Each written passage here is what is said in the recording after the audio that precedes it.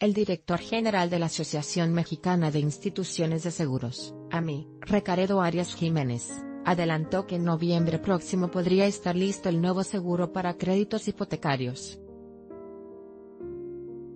Precisó que trabajan en conjunto con la Asociación de Bancos de México, AM, y la Comisión Nacional para la Protección y Defensa de los Usuarios de Servicios Financieros, CONDUCEF, para construir una póliza que integre la protección tanto del crédito hipotecario como de las amortizaciones realizadas al financiamiento por parte del acreditado. En entrevista posterior a la inauguración de la sede central de la Semana Nacional de Educación Financiera destacó que si bien la prima deberá privilegiar el remanente del crédito hipotecario, también no se dejará desprotegido a los usuarios luego de la recomendación realizadas por la Conducef en semanas anteriores tras los sismos del año pasado.